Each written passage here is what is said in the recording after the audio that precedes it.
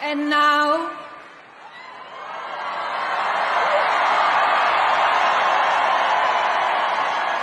please welcome our next Commander in Chief, my husband, President Donald J. Trump.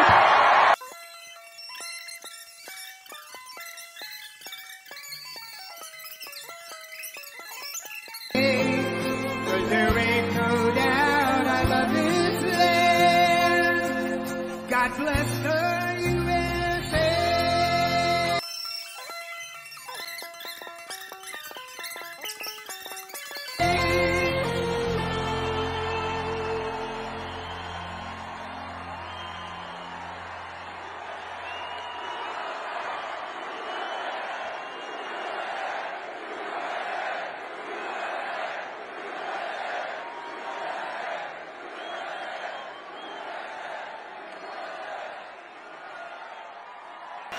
Good evening, New York City.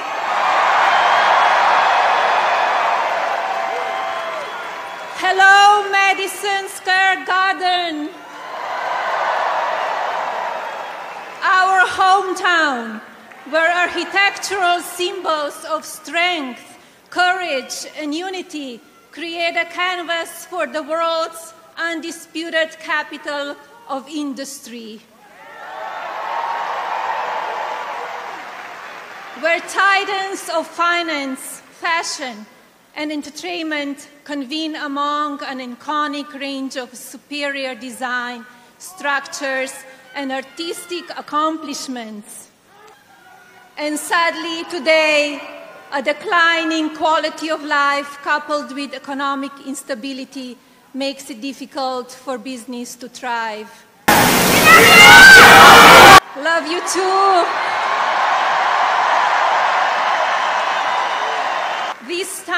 Has produced America's most fearless leaders, whose mark changed the course of the world. New York City and America needs their magic back. For me, I think it's the historic nature of all of this. From the very beginning, when you saw Melania walk out, a little bit of a surprise, and then you saw the two of them just taking this moment in. Just, it, it- it's not like any rally he's ever held before, and he's had big rallies filling airport hangars. This is entirely different. Uh, Like you said, Lisa, we'll never see it again. And then just standing there, soaking it in, waving at the crowd. We don't get to see that type of moment from Donald Trump out on the campaign trail all that often. And he talked about his love of New York, the city where I was born and raised. And of course, he went on to make great highlights and, and, and, and plans and promises and unveiling the new tax breaks and things and promising America's new golden age. He had his plan, the message he was going to do, but it started with this moment where he soaked it all in. And I think when you look at something political, this is history, and it was worth taking that moment.